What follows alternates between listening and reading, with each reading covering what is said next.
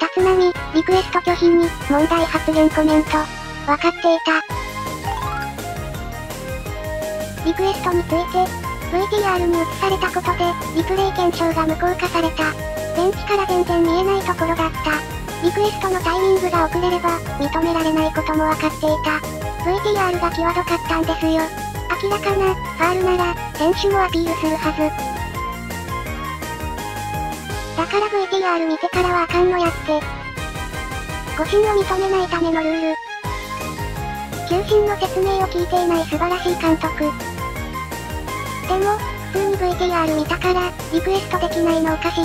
見てファールだと分かったのに、VTR 見たから無理。って言われ誤審が正当化されるとか、日本球界終わってるだろ。これは少しタッツに同情するところがある。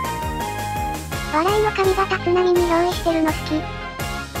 当の本人は大真面目にやってる。これが本物。こんな細かいルール知らんかった。立浪はいろいろなことを教えてくれる。正直今回のも、コーチの件も知らんかったわ。素晴らしいネタ提供。記事を見て思ったことはコメント欄へ、高評価もぜひよろしくお願いします。